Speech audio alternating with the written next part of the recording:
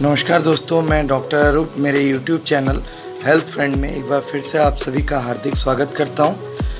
आज से मैं एक नया सीरीज़ जो है, स्टार्ट करने जा रहा हूँ यूट्यूब चैनल के माध्यम से आपके सवालों का ऊपर ही बेस्ड करके मैं रिप्लाई को वीडियो के रूप में पेश करने के लिए जा रहा हूँ तो मुझे कुछ महिलाओं ने मेरे फेसबुक अकाउंट में ये सवाल पूछा था कि हीमोग्लोबिन कम होने के लक्षण क्या क्या हैं और हीमोग्लोबिन को कैसे बढ़ाया जा सकता है?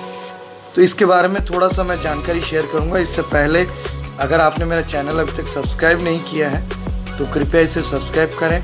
और अगर मेरा वीडियो आपको ज़्यादा से ज़्यादा अच्छा लगे तो ज़्यादा से ज़्यादा आप शेयर करना ना भूलें। अधिक से अधिक इसको शेयर कीजिए, जिससे लोग और समाज जागरूक हो सके। और आपके सवालों को आप इसी प्रकार से मेरे फेसबुक प्रोफ़ाइल में या यूट्यूब प्रोफ़ाइल में भी भेजते रहिए। हीमोग्लोबिन जो है, वो हमारे शरीर के एक ऊर्जा का बहुत बड़ा स्रोत माना जाता है।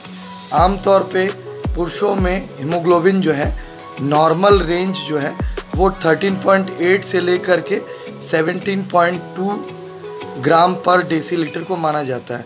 महिलाओं में 12.1 से लेकर के 15 पॉइंट तक जो है 15 ग्राम पर डेसीलीटर तक जो है, इसे नॉर्मल माना जाता है।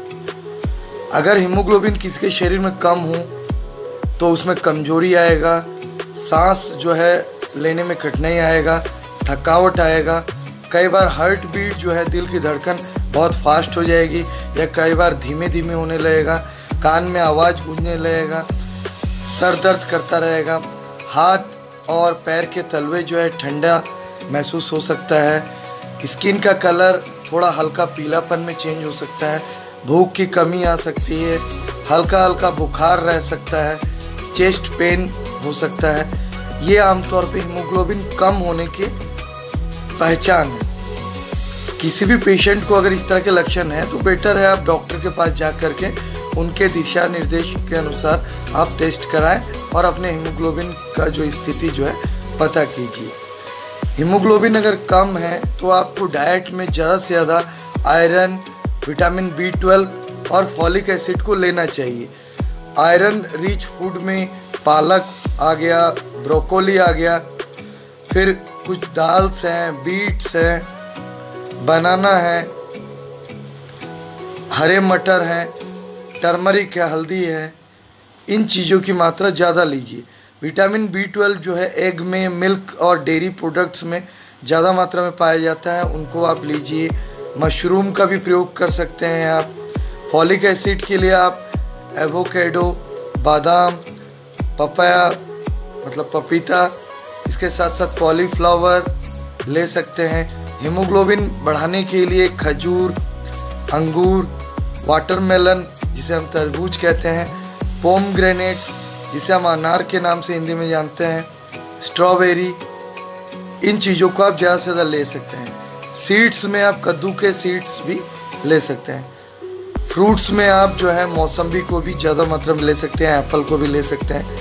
मैं उम्मीद करता हूँ, अगर आप इन चीज़ों को डाइट में इंक्लूड करेंगे तो नेचुरली भी आपका हीमोग्लोबिन हमेशा मेंटेन रहेगा। फिर भी किसी कारणवश अगर हीमोग्लोबिन डाउन हो रहा है तो चिकित्सकीय परामर्श अनुसार जो भी आपको फॉलिक एसिड या आयरन या विटामिन बी ट्वेल्व के सप्लीमेंट मिल रहे हैं, उसे या आप सलाह के अनुसार ही कंटिन्यू मेंटेन कीजिए और डॉक्टर की सलाह अनुसार ही आप बराबर चेक कराते रहिए हीमोग्लोबिन का स्थिति कितना बना हुआ है। तो मैं उम्मीद करता हूँ मेरी दी गई जानकारी आपको काफ़ी हद तक हेल्पफुल रहेगा। इसी प्रकार से कल मैं एक और सवाल का रिप्लाई आपके सामने रखूँगा। मुझसे जुड़े रहने के लिए मेरे चैनल को आप सब्सक्राइब करें और ज़्यादा से ज़्यादा लाइक और शेयर करना ना भूलें। धन्यवाद, नमस्कार, जय हिंद।